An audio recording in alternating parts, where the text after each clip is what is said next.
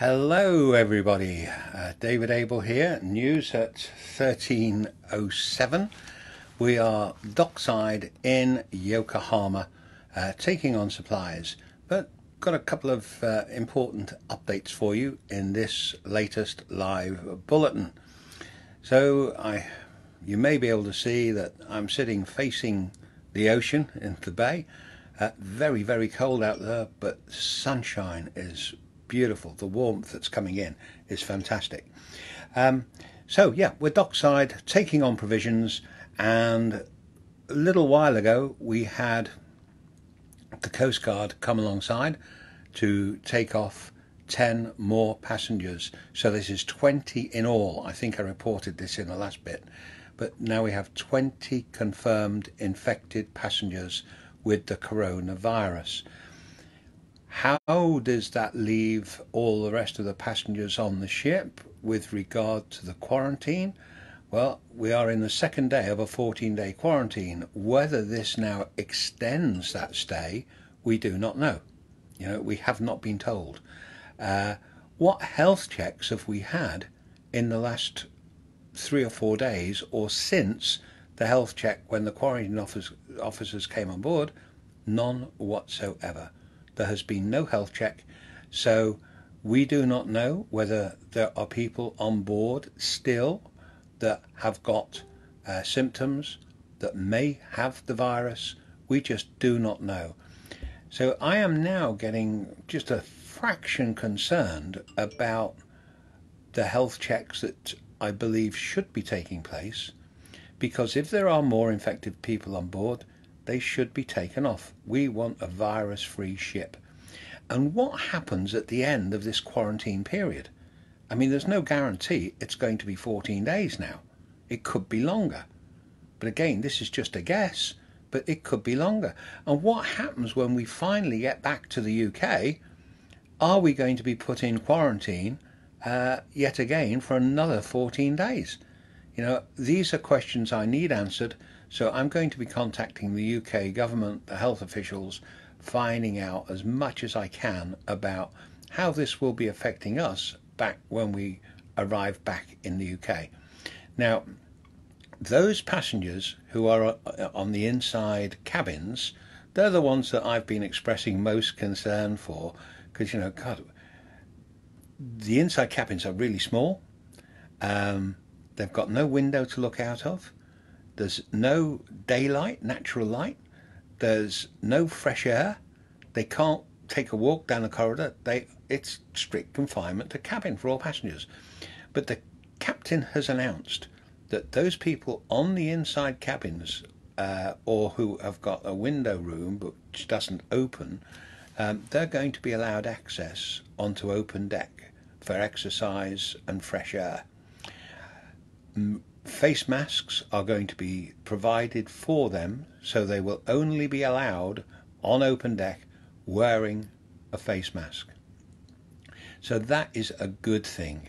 You know, I am really pleased that uh, the captain has been in contact with the Japanese health authority and that decision has been made. So that is something to be really grateful for that um, those passengers are going to see daylight first time in 48 hours, something like that, and they're going to breathe the fresh air. It's just a shame it's going to be so damn cold for them. It really is a very cold breeze. Uh, I've been asked questions on the Facebook, um, and I, I haven't answered them as yet. So here we go. Here's one of the questions. What about the cleaning of the rooms? Look, we're no longer on a cruise you know, all of the luxury of having someone, a steward, come into the cabin, make the bed, put chocolates on the pillow, change the towels, face cloths, clean the bathroom, those days are gone. It just ain't happening. So we have to take care of the cleanliness and the hygiene of our own room. And uh, we haven't been provided with any cleaning materials for the bathroom. Uh, we have not had a change of towels. Previously, we were having two sets of towels and face cloths a day. All right, I mean, it was superb, but it's just not happening anymore. We were having a change of sheets on the bed about every third day. That is not happening anymore. So we've had no change of towels, no change of sheets, uh, and no service provided to the room. Now, this is not a complaint. You know, I totally get it and I totally understand. Princess, the cruise has ended, and we are in a quarantine situation. It's brand new territory for the captain of this ship and the crew and the ship itself. Brand new territory for Princess. You know, I think this is probably the first time in their history where they've had a totally quarantined ship. So, um, Princess are really rising to the occasion superbly well.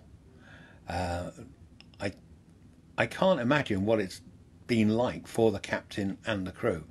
Um, yeah, I cannot. I just cannot imagine the challenging situation that he himself is in right now. Um, but he's done a brilliant job. So you know, congratulations. And I'm not. I'm not saying that um, lightly, but congratulations to Princess for being able to organise so quickly. And some of it hasn't been as quick as me and other passengers wanted. You know, the first day in isolation, the uh, supply of food wasn't good. But my God, considering what they had to put up with, it's taken them 24 hours. Now it's superb. We had breakfast at 6:30. We had lunch provided at 12:30, and uh, you know we were able to choose what we wanted to eat. So I'm not complaining. We've only had one hot drink today, one hot drink yesterday. So that could be improved on, please. That could be improved on but it's not the end of the world. We've got water to drink, and uh, that's what matters. Another question that came up, or an observation that came up, was regarding the air conditioning. You know, will this germ, this virus, be spreading through the aircon system? I've no idea. I haven't got a clue, and nothing has been mentioned uh, about the captain or from any crew member about that possibility. But I would imagine uh, the Japanese Health Authority plus Princess Cruise Lines have looked at that, and as of now, the air conditioning is still operational. Now, the Facebook group that uh, I've organised for passengers to communicate with each other. I am sorry this has taken so long. Another news reporter, right. So I am sorry this has taken so long to uh, get up and running but now I've got help. I've got a, a lovely passenger on the ship, Siobhan, and she is moderating the group for me because we've got lots of passengers wanting to join. But the trouble is, we've also got journalists that are wanting to join, and this is not for the journalists, it is purely for the passengers, uh, so that we can offer help, encouragement, and support one another. And I literally have not had time to go through and check all those passengers or all the people that are waiting to join the group. So Siobhan has very kindly um, agreed to assist me on this. So the process is starting, and everybody, I hope, will have the opportunity of getting into this group within the next hour or so. We are doing our best to make it happen as quickly as possible.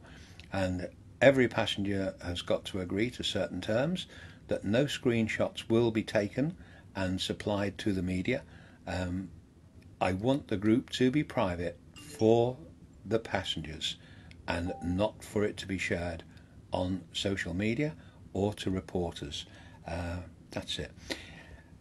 And funny thing, I'm laughing because I don't see myself as some of you have described. Uh, two words keep coming up on certain Facebook posts you know, guardian angel of princess. I mean, blooming heck, I am not a guardian angel. Oh, please don't uh, stroke my ego. I am really not a guardian angel. I am just trying to bring uh, the experience that we are all going through on this ship to the awareness of the general public out there, right across the world. And quite frankly, it has worked. It really has worked now there is a great awareness internationally of everything that is happening, and I think that is wonderful. Um, I don't think there is anything else really to share with you apart from one thing, and this is going to make me really unpopular with some people. The number of reporters that are contacting me now on a daily basis. I mean, yesterday it was from morning right the way through to 11:30 last night, and it it really is exhausting. I want to help uh, in every way I can to get the news across, but I think my videos can be seen by all the reporters, and there is no need for me to keep talking to reporters and doing TV shows and radio shows. So, with the exception of the English, that's the British reporters, I am not providing any more uh, TV feeds to the rest of the world. I am really, really sorry, but it's so time consuming and exhausting. So, as of now, unless I have got an agreed uh, appointment fixed for today, and there are about three, I will honour those. But as from uh, tomorrow, I will not be talking to any more news stations unless they are based in the UK. Okay, so I hope you understand that. I need to get a bit of a life back. Uh, the last 24 hours or so, I've been inundated with reporters all the time, uh, having to put off eating a meal, you know, because they're coming through. And as we've been talking on here now, there's one reporter that knows it's live, he's watching what I'm doing, and he's trying to telephone me while I'm doing this. You know, that's not on. And I had to kick another reporter off Facebook yesterday. Uh, three times I had to rebroadcast with a TV company because they kept interrupting and they knew uh, what was happening. So my patience is not as good as it should be, and that's a decision that I've made. But as far as the general public are concerned, if you have got uh, passengers on board this ship and you're concerned about them, get in touch. Let them know that that Facebook group has commenced and we can help each other and support each other. And uh, we've got a great telephone system on the ship and we can phone from cabin to cabin and uh, those who are feeling a bit down in the doldrums, we can talk to them whether it's in the morning, afternoon, or evening, you know, we can talk to them and they can pick up a phone and talk to us. So there you go. I don't think I've got anything else to share with you. I hope your day, uh, wherever you are in the world, is going okay.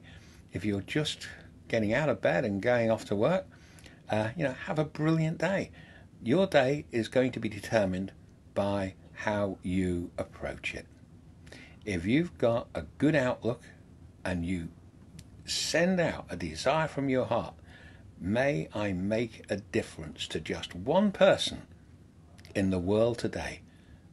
Anybody that I come into contact with, let me make a difference in their life. And you watch, smiles will start to appear on people's faces, and you really will be making a difference. You'll become the guardian angels, not me. You'll be the guardian angels, okay?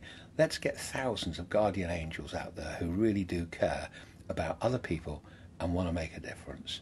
So, thank you for all of your encouragement. Thank you for your positivity in uh, telling me that you're enjoying these little videos. I really do appreciate and acknowledge how fantastic you really are. You are bringing amazing support and encouragement to me, and I know many, many people are watching these little video blogs. It's either going to drive them mad, it's going to be like a Marmite moment. That's a, I can't remember what they call it in America and Australia, but it's that brown stuff in a bottle. You either love it or hate it. And I think that's going to be the reaction with these videos. You're either going to love them or hate them. And if you love them, that's great. Stay on board and I will keep you informed to the best of my ability. So, here's your challenge today. Get out there make a difference to somebody's life.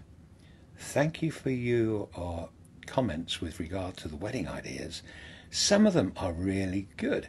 And one lady, I'm not going to mention names, she's talking about, uh, oh, that place on the Greek island, Sorrento, not Sorrento, where they have the horses walking up the cliffside. Oh, darn it. Memory's gone. It's something like Sorrentino, but that's not the name.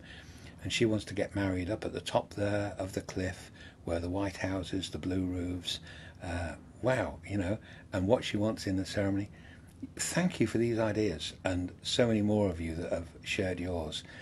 It's going to be a brilliant wedding ceremony. Tell you that. So if you haven't replied to me yet, do so. You've still got time up until the 13th of February, and on the 14th, I'm going to publish a dream wedding ceremony that, wow, wow your socks off. Okay, I've spoken enough. I'm waffling. So all the best. Talk to you later. Have a brilliant day. Go and make a difference, folks. Bye for now.